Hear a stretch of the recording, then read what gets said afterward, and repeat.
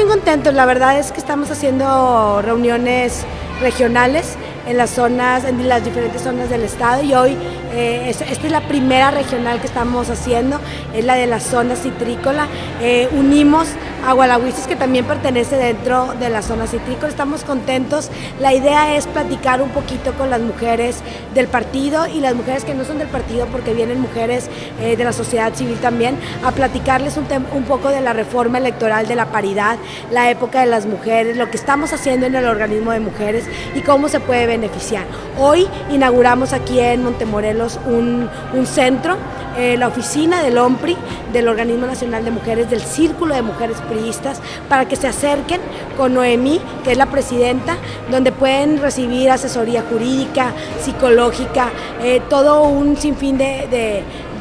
cosas y servicios que podemos ser también el enlace para tener eh, programas y tener algunos beneficios. Bueno, pues obviamente somos militantes priistas, eh, estamos eh, en la región citrícola, como hemos, estuvimos ya hace algunos días invitados por los alcaldes, el día de hoy nos invita el OMPRI aquí a, estar, a compartir con las mujeres priistas. Y bueno, con todo gusto estamos aquí, es un, es un área que, en la que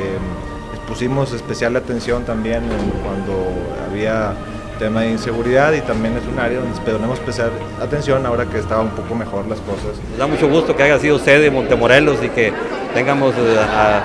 la presidenta del, del estatal aquí con nosotros, a Pati Aguirre, pues muy contentos